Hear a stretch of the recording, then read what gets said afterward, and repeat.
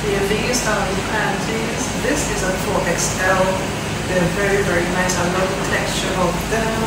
I love the color. They're exciting. It's high-waisted.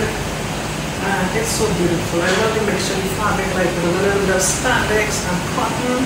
Look at these colors. Really, really nice. And it's not like, you know, too tight around the thighs. It's perfect. The abundance of